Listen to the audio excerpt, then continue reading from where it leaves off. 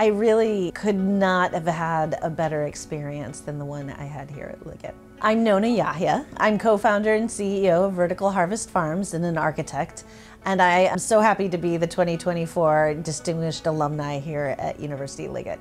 I think it was the best time in my life, really. There was just such a real community here that taught us to be ourselves and actually helped uncover our abilities. One of my mentors here at the school was Mr. Giacomo, and he just had such a passion for art, the process of making art, to the history of art, to different techniques. And I remember being taught that anything was possible if you had the right mindset. The advice I would give my high school self is the one I give to my kids. Hang on to what makes you different. Sometimes you just want to be like everybody else. You know, you wish you were taller, thinner, more blonde, whatever it is.